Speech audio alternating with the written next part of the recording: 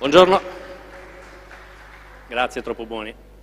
Allora, oggi vi parlerò dei Serious Game, che è un ossimoro che sembra minaccioso, ma poi vi, vi dimostrerò che è una cosa molto carina, ehm, e di come possono essere, come ha detto, dei validi strumenti per il marketing. Prima di fare questo però devo necessariamente dirvi chi sono e qual è l'impresa per la quale lavoro. Allora io ehm, lavoro per NetPress, NetPress è una impresa che ha due anime, l'IT, l'information technology e la comunicazione.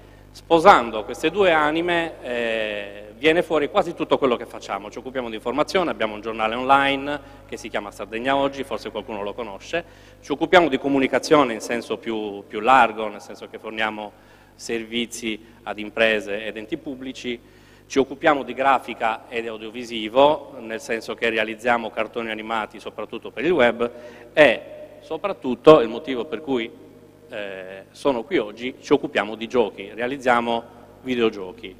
Eh, negli anni abbiamo realizzato tantissimi giochi eh, di tipo educativo, i famosi edutainment, eh, soprattutto per l'insegnamento delle lingue con la metodologia dell'immersione linguistica. Ultimamente, negli ultimi mesi, abbiamo anche iniziato una scuola di creazione di videogame dedicata a ragazzi ed adulti. Eh, io sono Andrea Sorgia, non Sorgia, sono Andrea Sorgia e eh, qui in basso si legge poco per fortuna, vedete dove mi hanno portato i miei studi ultimamente sulla, sul game design. Veniamo al dunque, il marketing turistico fatto con i serious game. Beh, innanzitutto dobbiamo scoprire che cosa sono questi famosi serious game. Eh, partiamo da una differenza una parola che sicuramente tutti quanti avete già sentito, parlare, già sentito eh, pronunciare, gamification, eh, ne parlerà molto meglio di me, eh, difatti io non ne parlerò affatto, ehm, il professor Vagliasindi dopo di me, io mi limito a dire che i giochi non sono gamification, o meglio, la gamification non è gioco, la gamification è la pratica di applicare meccaniche tipiche del gioco a quello che gioco non è ad esempio eh, la raccolta punti, i colori delle cinture nelle arti marziali o la coppa delle case di Hogwarts eh, nella serie di Harry Potter, sono tutti esempi di gamification. Eh, il gioco invece, cos'è il gioco? Allora, eh, vi voglio tranquillizzare, io non sono un accademico, quando si cominciano a vedere foto in bianco e nero di vecchi professori, eh, qualcuno sgrana gli occhi. Però ho, ho imparato nel tempo che è necessario eh, catalogare l'oggetto del nostro lavoro per poterlo svolgere al meglio. Allora, John Oitzinga, sono riuscito a pronunciarlo, è una, un antropologo che nel 1938 ha scritto una, un trattato che si chiama Homo Ludens, nel quale dà una definizione del gioco molto efficace, al punto che viene utilizzata nel game design tutte le volte che dobbiamo uscire da questo impiccio di definire che cos'è il gioco. Per Huizinga il gioco è un'attività libera, disinteressata, finita nel tempo e nello spazio, regolata da un insieme di regole che quindi vanno a creare un piccolo mondo perfetto all'interno del gioco, ma soprattutto, non so se si vede la regola numero 4, la caratteristica numero 4, è un'attività improduttiva. Il gioco non serve a niente, non deve servire a niente. Se il gioco ha un fine, vuol dire che è un lavoro. D'accordo? Ricordatevi questa caratteristica perché mi smetterò tra pochissimo. Ora, i serious game sono un ossimoro minacciosissimo, ma perché li hanno chiamati così? Oramai eh, questo è il termine comune in tutta la comunità eh, internazionale. Sono davvero seri, allora vuol dire che non sono divertenti? No, i serious game sono, devono essere divertenti perché sono gioco, eh, semplicemente sono dei giochi che hanno uno scopo.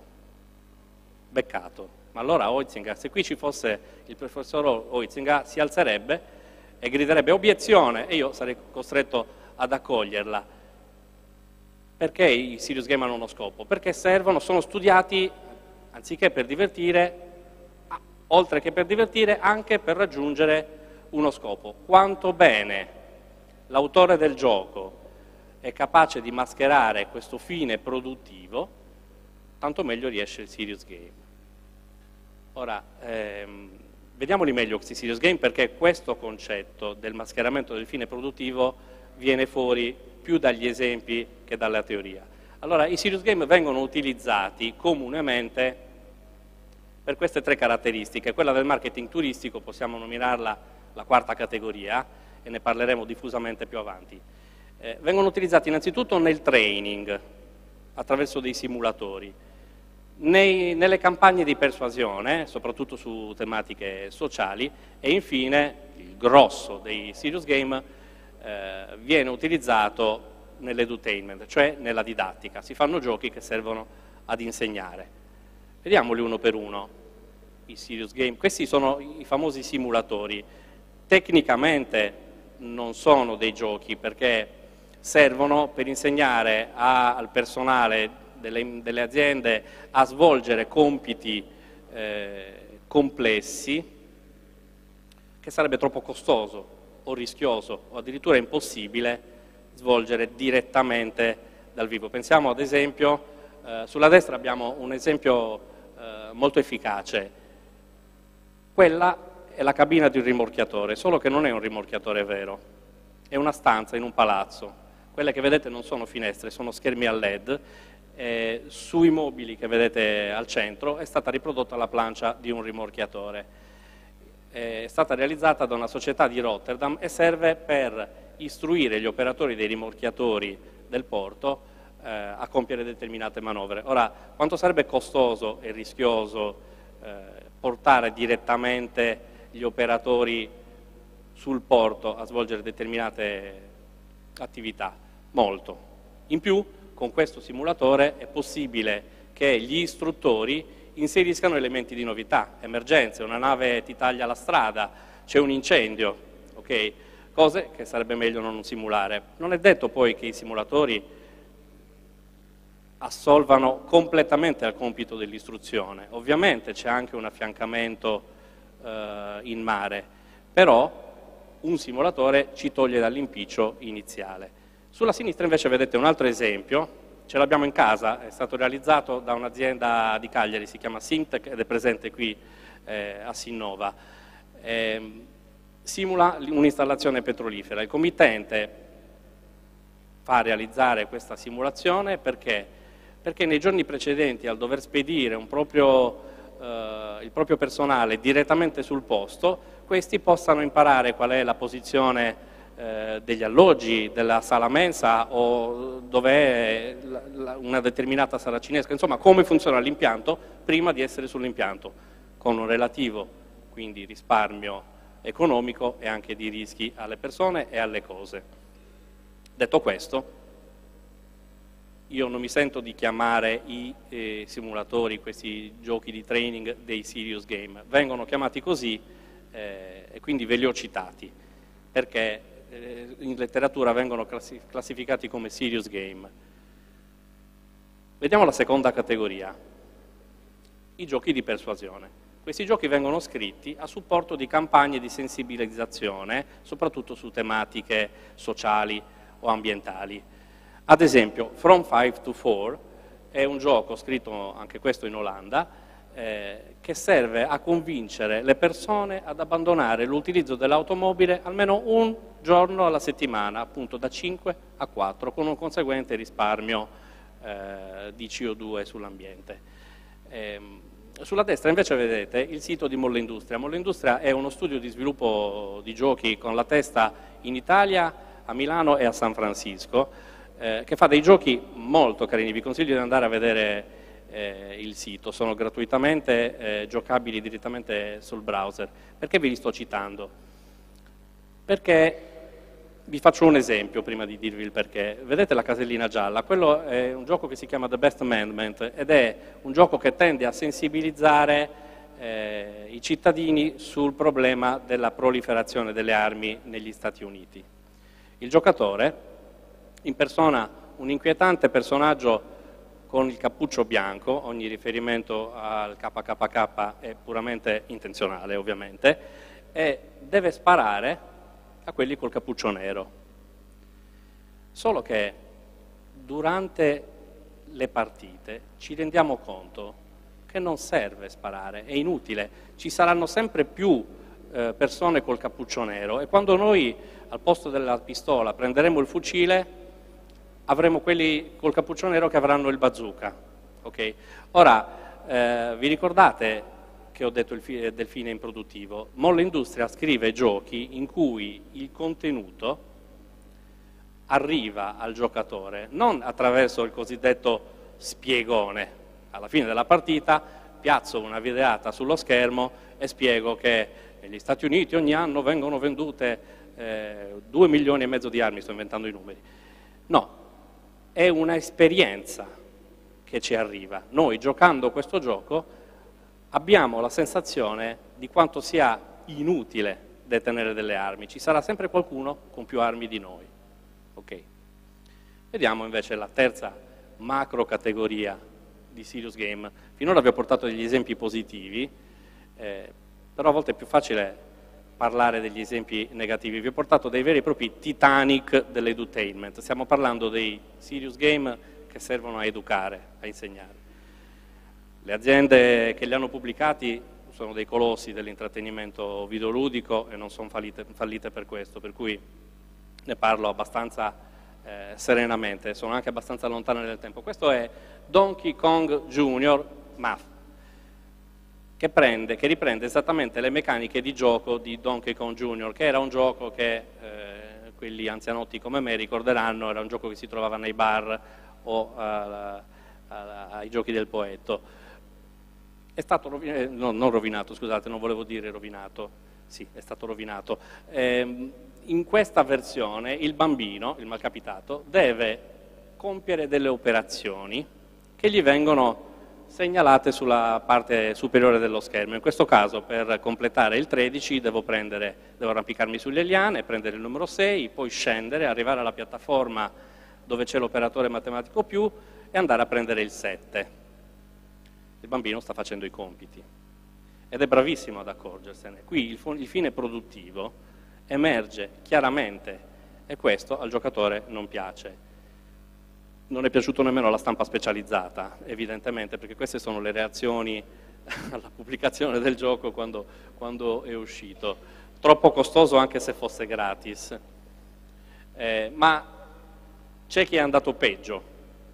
Circa 15 anni dopo, Siga ha pubblicato un gioco di edutainment che doveva servire per insegnare agli utenti a familiarizzare con la tastiera the typing of the dead, cioè datilografiamoli a morte. Allora vedete che il giocatore purtroppo non si vede benissimo, ci sono degli zombie che sono molto alla moda e quindi un gioco con gli zombie non può andare male, d'accordo? Eh, per uccidere questo signore sulla destra eh, dobbiamo digitare enormous hair, effettivamente è un cappellone. Quello indietro è un po' più furbo invece perché si tiene un po' più in disparte, dobbiamo digitare smart looking boy. Ovviamente il gioco ha avuto queste recensioni. PC World lo ha definito uno dei peggiori giochi della storia e Game Informer addirittura il più strambo di tutti i tempi. Ora, vi faccio notare una cosa. Quando vogliamo, eh, vogliamo che una persona anziana familiarizzi con l'utilizzo del computer imparando a utilizzare il mouse, cosa facciamo comunemente? Lo facciamo giocare al solitario Okay. Il solitario non è un gioco che è stato pensato per imparare a utilizzare il mouse, è un gioco, è un gioco-gioco. Okay. È molto utile anche per, per, imparare a utilizzare il mouse. Se qualcuno della Sega avesse voluto, della Siga, scusate, e avesse voluto eh, creare un gioco per familiarizzare con il mouse, probabilmente avrebbe concepito una cosa di questo genere, fallendo miseramente per la seconda volta. Perché succede questo? Perché spesso committenza e autori hanno l'impressione che se non fanno emergere il fine produttivo, lo scopo ultimo per cui è stato pensato il serious game, hanno l'impressione di non aver svolto appieno il proprio lavoro. E allora su, dai, facciamo una cosa in cui bisogna digitare a morte eh, i nostri avversari. C'erano tantissimi altri modi per insegnare a utilizzare la tastiera. D'accordo? Eh, questo per ribadire, il gioco ha sempre una valenza educativa, anche e soprattutto se questa valenza è celata, d'accordo? Il giocatore possibilmente non dovrebbe, essere, non dovrebbe accorgersi o se se ne accorge lo spirito di avventura, il, il divertimento per, che lo spinge a giocare dovrebbe prevalere, d'accordo? Se si accorge di essere sfruttato, eh, ovviamente perde quell'interesse ad entrare nel cerchio magico. Ogni autore di gioco disegna un piccolo mondo nel quale eh, l'autore non può fare tutto, il giocatore prima o poi deve concedersi, lasciarsi andare ed entrare nel cerchio magico. Quello che viene chiamato il cerchio magico non è altro che il piccolo mondo definito dal gioco. Tutto quello che lo distrae e che lo riporta invece alla realtà è negativo. Quando si parla di cinematografia si parla di sospensioni di incredulità. Qual è il motivo per cui pochi registi riescono a rompere la quarta parete, cioè fare in maniera che il personaggio guardi in camera? Perché riportano lo spettatore alla poltrona del cinema in cui è seduto, si rende conto di stare assistendo a una proiezione e non di far parte della storia. Lo stesso meccanismo si instaura con i giochi. Non dobbiamo mai e poi mai far uscire i giocatori dal cerchio magico. Ora, direi che su questo vi ho annoiato anche troppo, eh, però se non siete ancora convinti che i giochi possono avere una eh, valenza educativa, vi chiedo quanti di voi sanno dov'è la Kamchatka? Ok, io lo so.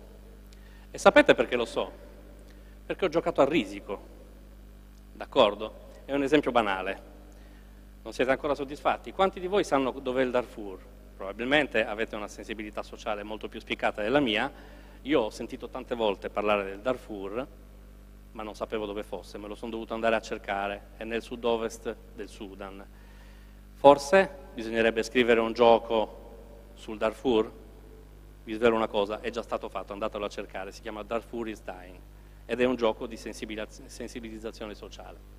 Ma veniamo veramente al motivo per cui sono stato chiamato a parlarvi di Serious Gamer. Siamo una terra dalla forte vocazione turistica, possiamo utilizzare questo strumento come veicolo per eh, il marketing turistico?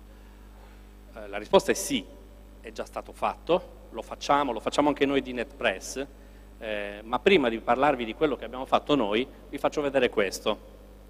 Questa è una scena di un gioco, non è un dipinto, si chiama Assassin's Creed ed è un gioco famosissimo. Produrre un episodio di Assassin's Creed costa più che girare un film con Tom Cruise al giorno d'oggi, ma rende di più. D'accordo? Ora, eh, il secondo episodio di Assassin's Creed è ambientato nella eh, Firenze rinascimentale. Lo studio ha speso milioni di euro o di dollari eh, per riprodurre fedelmente la Firenze del posto. Uno dei nostri collaboratori ha fatto un periodo eh, in cui lavorava agli uffizi di Firenze e ci racconta spesso a spegnere il Sapete che i telefoni hanno un sensore, di, eh, hanno, eh, un sensore che capisce quanto è inclinato. Okay, bisogna prendere l'acqua nel pozzo e poi portare il telefono parallelamente al terreno con piccoli passi per non versare l'acqua fino al focolaio. Gli ultimi abitanti di Palmavera è un gioco di valorizzazione turistica eh, che non ha lo spiegone, esattamente come i giochi di Mulla Industria e non ce l'ha nemmeno quelli di Discover Cagliari. Bisogna dare merito al comune di Alghero eh, di non aver fatto quell'errore di cui ho parlato prima, cioè di voler assolutamente e necessariamente portare troppo in evidenza il fine produttivo del gioco, perché il gioco è gioco solo quando è improduttivo. Nel caso di Serious Game siamo costretti a mascherare questa, questa realtà perché altrimenti il giocatore non ci vuole giocare. Io ho terminato, se ci sono delle domande, ammesso di avere il tempo di, di fare...